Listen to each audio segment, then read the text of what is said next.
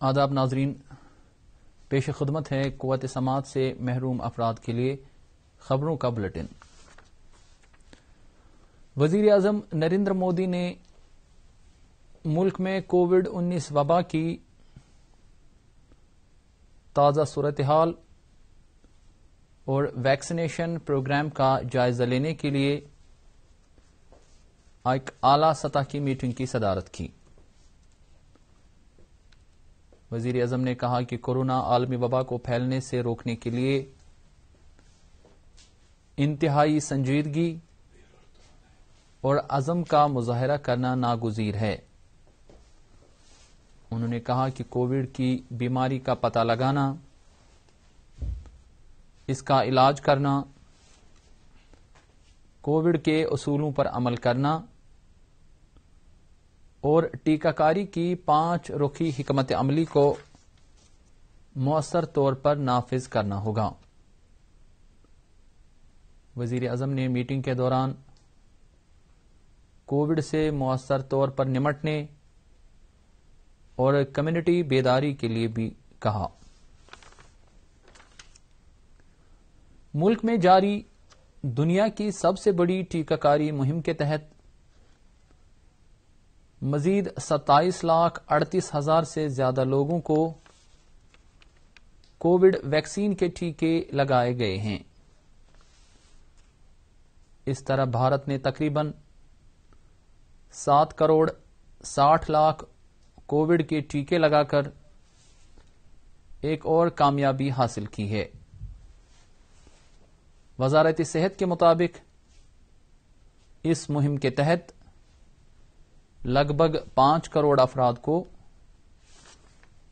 Covid 19 की पहली खुराक, जबकि आठ लाख से ज़्यादा अफराद को इस वैक्सीन की दूसरी खुराक दी गई है।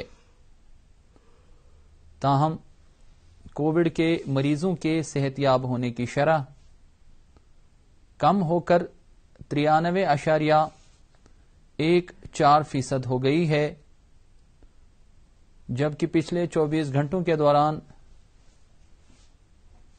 इस वायरस के एक लाख तीन हज़ार चार सौ छिहत्तर नए मामला सामने आए हैं।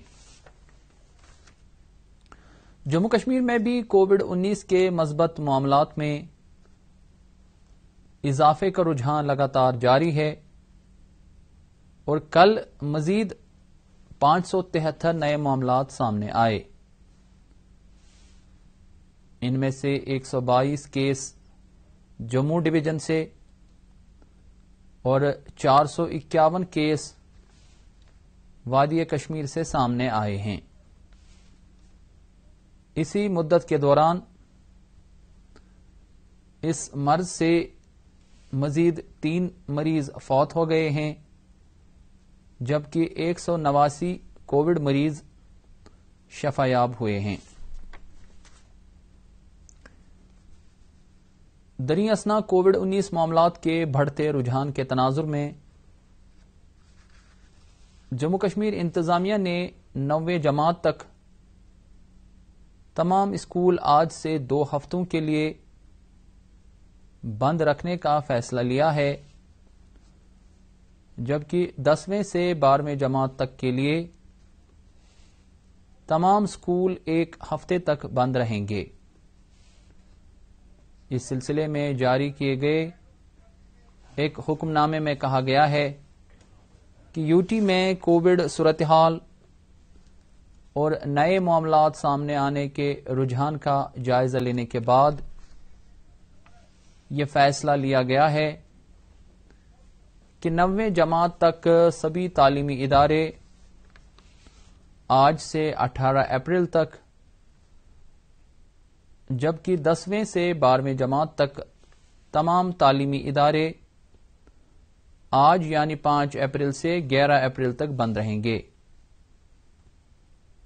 हुक्मनामे के मुताबिक समाजी और दीगर इज्तमाही तकरीबात में ज़्यादा से ज़्यादा 200 अफराद ही शिरकत कर सकते हैं। लेफ्टिनेंट गवर्नर मनोज सिन्हा ने जम्मू कश्मीर की इलाकाई सालमियत के तहफ़ और दहशत गर्दी के खिलाफ लड़ाई में सिक्योरिटी अमले, पुलिस एहलकारों और आम शहरियों की कुर्बानियों को शानदार खराज तहसीन पेश किया है। लेफ्टिनेंट गवर्नर ने इन शहदा, जिन्होंने कौम के विकार की हिफाजत करते हुए हिम्मत और बहादुरी का मुजाहरा किया है और अपने जानों की कुर्बानी दी है,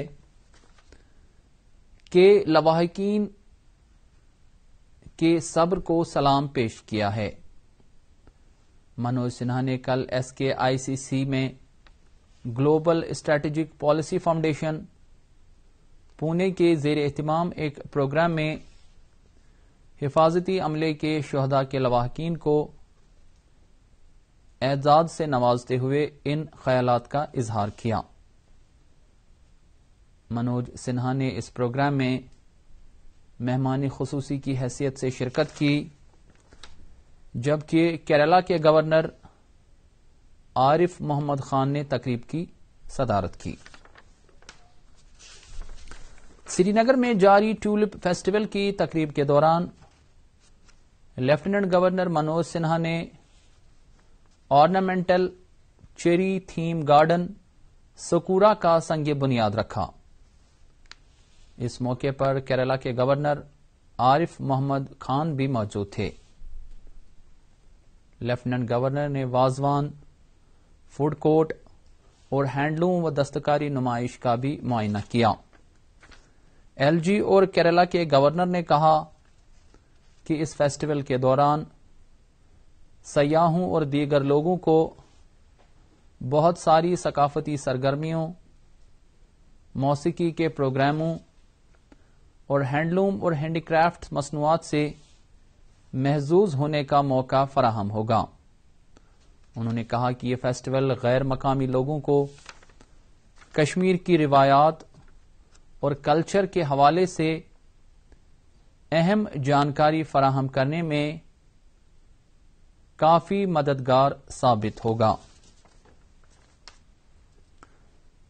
हफ्चनार श्रीनगर में दौरानी शब, आग की एक होलनाक वारदात में एक खातून और उसके छह साल बेट की मौत वाक़ा हुई है, जबकि आग की इस वारदात में छह रिहायशी मकान भी खाकिस्तर हुए हैं। पुलिस जराये के मुताबिक आग गुलाम मोहम्मद शेख के मकान से नमदार हुई, जिसने आनन फानन दीगर मकानों को अपनी लपेट में ले लिया। मकामी लोगों और आग बुझाने वाले अमले ने अगरच मकानों के अंदर फंसे लोगों को बचाने और आग बुझाने की कोशिश की। ताहम गुलाम मोहम्मद शेख की बीवी अजमेरा और उसका बेटा मोहम्मद अब्बास शेख शदीद तौर से झुलस गए, जिन्हें एसएमएचएस अस्पताल पहुँचाया गया। ताहम डॉक्टरों ने उन्हें मुर्दा करार दिया। आग की वजूहत का पता लगाया जा रहा है। तो नाजरीन, इसके साथ ही कुत समाज से महरूम अफराद के लिए खबरों का बुलेटिन खत्म होता है। अगले शुमारे तक इजाज़त दीजिए। खुदा हाफिज़।